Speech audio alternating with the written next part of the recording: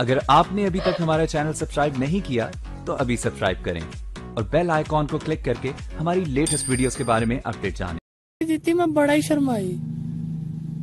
फिर उन्हें ਮੈਨੂੰ हौसला दिता। फिर उन्हें मेरे अंदर पूरा ही पाता।